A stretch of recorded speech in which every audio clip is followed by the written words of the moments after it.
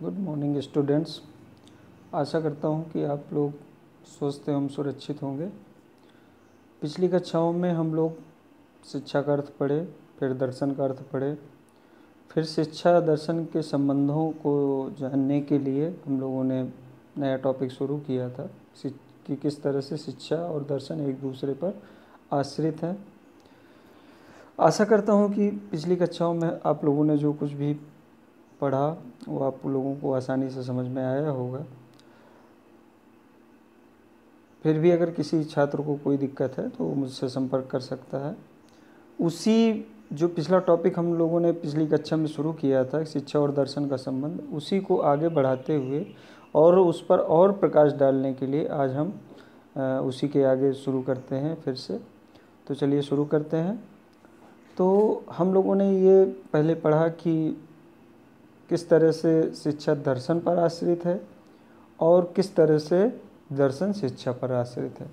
अब हमें उसी के आगे शुरू करना है कि किस तरह से दर्शन शिक्षा, दर्शन का शिक्षा पर क्या प्रभाव है और किस तरह से शिक्षा का दर्शन पर प्रभाव है। इसको हम और थोड़ा डिटेल से पढ़ेंगे। आशा करता हूँ कि इससे आपका और थोड़ा सा कॉन्सेप्ट क्लियर होगा। ठीक है? तो चलिए शुरू करते हैं। Influence of philosophy on education यानी दर्शन का शिक्षा पर प्रभाव। तो इसको जो हम लोगों ने शुरू किया था कि शिक्षा और दर्शन एक ही सिक्के के दो पहलू हैं तो उसी जो जे एस रास का कथन है, उसी कथन को स्पष्ट करने के लिए आज हम शुरू करेंगे कि किस तरह से दर्शन का शिक्षा पर प्रभाव है।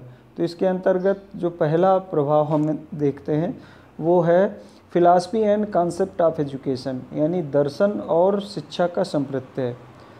तो अगर आप ये देखोगे तो दर्शन और शिक्षा के संप्रत्यय दर्शन का शिक्षा के संप्रत्यय पर सीधा सीधा सा प्रभाव पड़ता है। जैसे अगर आपको याद होगा कि जब हम लोगों ने पिछली कक्षाओं में पढ़ा था, शिक्षा का अर्थ पढ़ा था तो शिक्षा का अर्थ आपने देखा था तो उसमें जो शिक्षा के संप्रत्यय यानी कॉन्सेप्ट ऑफ़ एजुकेशन थे, वो अलग अलग थे। यानी दार्शनिक परिप्रेक्ष्य में उसका अर्थ अलग हो जा रहा था, आर्थिक परिप्रेक्ष्य में अलग हो जा रहा था, सामाजिक परिप्रेक्ष्य में अलग हो जा रहा था, और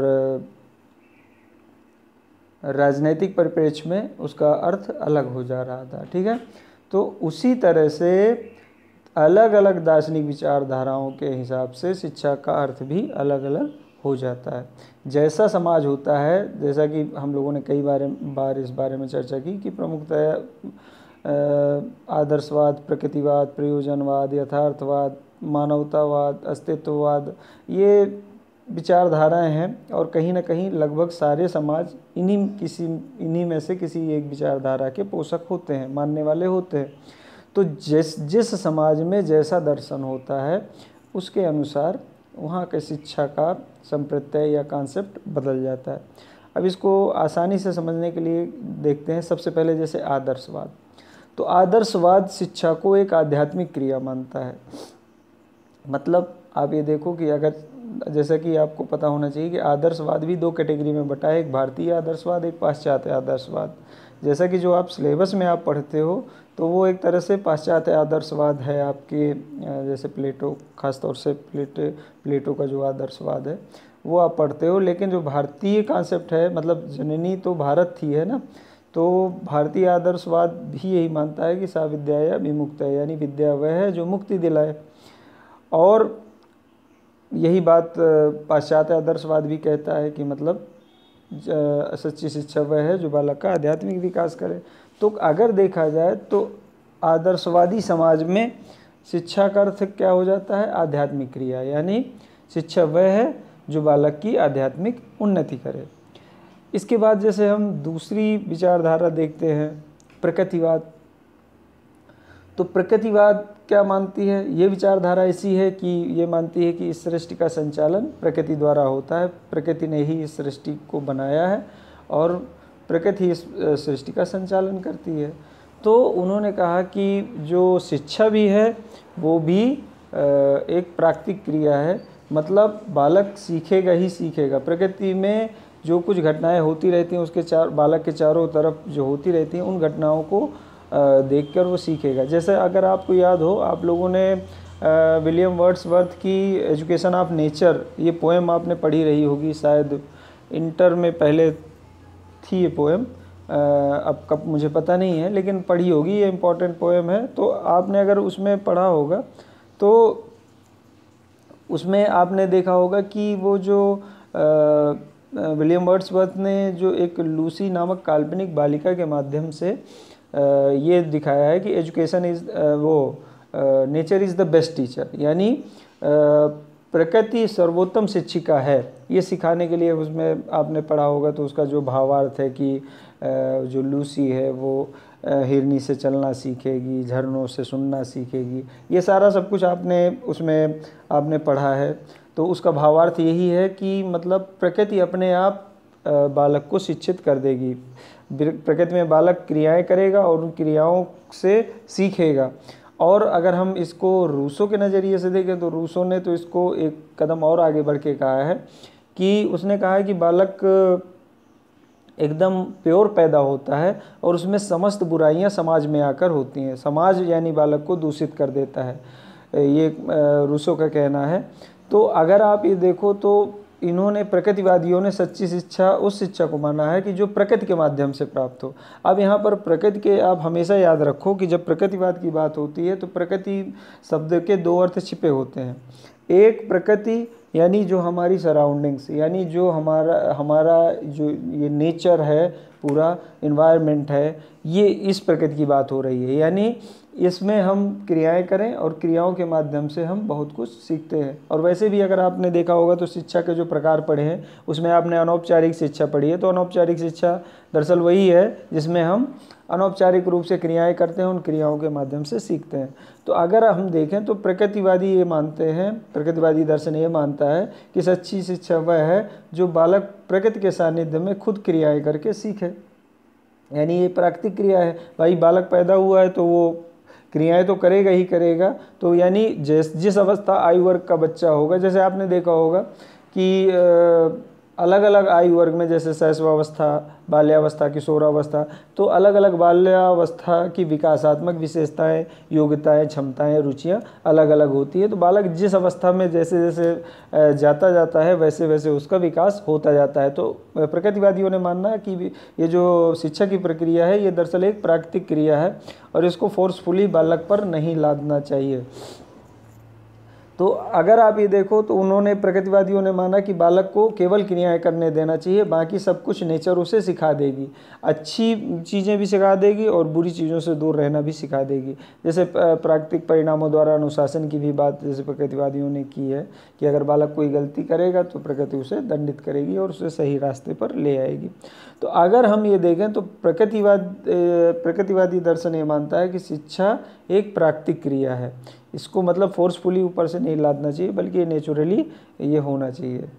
फिर इसके बाद, और ये भी मानते हैं प्रकृतिवादी कि मतलब अगर हम बालक के इस विकास क्रम को बदलने का प्रयास करेंगे तो हम वही करेंगे कि हम कच्चे फल तोड़ेंगे और उन फलों में ना तो स्वाद होगा और ना सुगंध होगी। ठीक है? फिर इसके बाद हम प्रयोजनवाद की बात करें। प्रयोजनवाद, समाजवादी दर्शन है एक तरह से। तो प्रयोजनवाद की अगर हम बात करें तो प्रयोजनवाद क्या कहता है?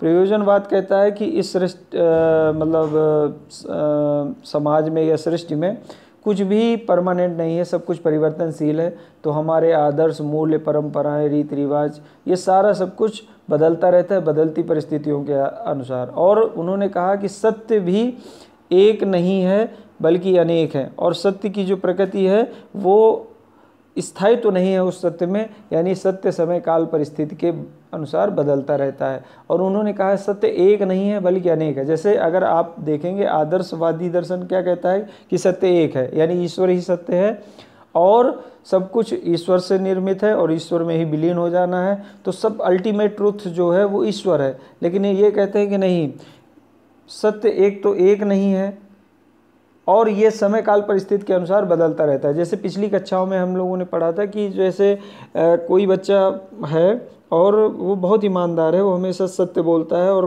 बहुत ईमानदारी से जीवन जीता है। लेकिन सोचिए, अगर उसकी माँ बीमार हो और उसके घर में पैसे ना हो तो हो सकता है कि वो चोरी कर कर ले या किसी से झूठ बोल ले या किसी से पैसे मांग ले। तो कहने का मतलब ये है कि उसकी परिस्थिति बदली और बदलती परिस्थितियों के अनुसार उसका व्यवहार भी बदला, उसका नज़रिया भी बदला। आप देखते हो कि हमारे आसपास, हमारे जीवन में आप देखते हो कि कोई बच्चा है, वो बहुत सीधा होता है और अचानक से उसके परिवार में या उसके जीवन में ऐसा कुछ उथल पुथल होती है कि वो जो सीधा सा बच्चा होता है, वो बहुत ज़्यादा मतलब विकृत हो जाता है या अपराधी प्रवृत्ति का हो जाता है। मतलब जो उसका पूर्व नेचर है, वो पूरी तरह से बदल जाता है, यानी बदलती परिस्थितियों के अनुसार वो बदल गया जैसे पिछली कक्षा में भी हम लोगों ने इस बारे में चर्चा की थी कि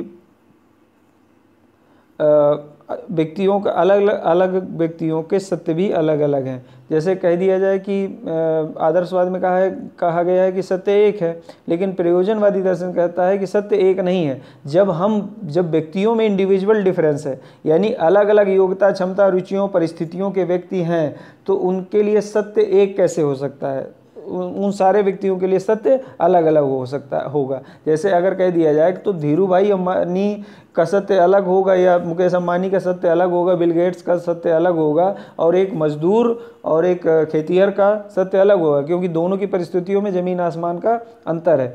दूसरी बात यह है कि एक अहिंसक व्यक्ति के लिए सत्य अलग है, यानी उसको यह है कि मुझे हिंसा नहीं करना है। जैसे वो सत्य और अहिंसा के मार्ग पर चलता है, ठीक है? इसके विपरीत एक जो कसाई है, जो दिन भर जानवरों को काटता है, उसके लिए उसका सत्य है कि मतलब उसको ये है कि मैं जो कार्य कर रहा हूँ वो गलत नहीं है, बल्कि इससे मेरे परिवार की जीविका चलती है। तो कहने का आशय यह है कि जब लोगों की अलग अलग परिस्थितियाँ होते हैं तो उन परिस्थितियों के अनुसार उनके सत्य भी अलग अलग होते हैं। ये मैं नहीं कह रहा, ये प्रयोजनवाद कह रहा है, ठीक है ना? तो कहने का मतलब ये है कि प्रयोजनवाद क्या कहता है? कि शिक्षा क्या है? शिक्षा एक सामाजिक क्रिया है। मतलब अगर आप ये देखो कि केवल शिक्षा के अर्थ ही या कॉन्सेप्ट ही ये अलग अलग दर्शन में अलग अलग हो जा रहे हैं। यानी आदर्शवाद कह रहा है कि शिक्षा एक आध्यात्मिक क्रिया है। प्रकृतिवाद कह रहा है कि शिक्षा एक प्राकृतिक क्रिया है। या समाजवादी दर्शन या प्रयोजनवाद कह रहा है कि शिक्षा एक सामाजिक क्रिया है। बात अगर देखा जाए तो ये भी सही है कि शिक्षा एक सामाजिक क्रिया है, क्योंकि जब हमने शिक्षा के फॉर्म्स पढ़े थे तो उसमें हमने पढ़ा था कि बालक अपने जीवन का मैक्सिमम पार्ट अनौपचारिक शिक्षा से प्राप्त करता है। और अनौपचारिक शिक्षा वो प्राप्त कहाँ करता है? अपने समाज में। समाज में सबसे पहले परिवार के जो बड़े होते हैं, उनके आचरण को देखता है और उनको, उनकी नकल करने का कोशिश करता है, यानी उनकी इमिटेशन करता है, ठीक है? और इसी तरह से उसमें रीति रिवाज, परंपराएँ, संस्कृति, इन सब का ट्रांसफ़र होता है। फिर इसके बाद वो पास पड़ोस के लोगों के साथ अंत क्रियाएँ करता है, फिर समाज में अंत क्रियाएँ करता है। और विद्यालयों में भी अंत क्रिया करता है तो अगर देखा जाए तो वो सब जगह अंत क्रिया ही कर रहा है। वो दरअसल अंत क्रिया क्या है? एक सामाजिक क्रिया ही तो है। समाज में क्या करते हैं हम लोग? अंत इंटरेक्शन ही तो करते हैं कम्युनिकेट ही तो करते हैं। तो सीधी सी बात यह है, वो सामाजिक क्रियाओं में भाग लेता है और जितना ज़्यादा सामाजिक क्रियाओं में भाग लेता है, उतना ज़्यादा उसका मानसिक विकास और सामाजिक विकास होता है। आप इसको ऐसे समझो कि अगर कोई बच्चा है, अगर उस बच्चे को पैदा होने के बाद ही किसी कमरे में बंद कर दिया जाए और कुछ ऐसी व्यवस्था कर दी जाए कि उसको पोषण मिलता रहे, यानी वो जीवित रहे, यानी उसके खाने पीने की व्यवस्था हो, लेकिन वो किसी व्यक्ति को ना देखे, ना उससे कोई इंटरेक्शन हो, ना कोई बाहर की दुनिया या लोगों को किसी को ना देखे वो। तो आपको क्या लगता है कि वही बच्चा जब कुछ बड़ा हो जाएगा, उसे बाहर अगर उस कमरे से निकाला जाएगा तो क्या वो कुछ सीख पाएगा? यानी कुछ आचार विचार संस्कृति, बोलचाल, भाषा, किसी चीज़ का विकास होगा? बिल्कुल नहीं होगा। वो उसे तो ये भी नहीं पता होगा कि खाना खाया कैसे जाता है, या मुझे चलना कैसे है? मतलब घुटने के बल चलना है, या लेट के चलना है, या खड़े होकर चलना है? क्योंकि उसने सब कुछ कुछ सीखने का उसे अवसर ही नहीं मिलता।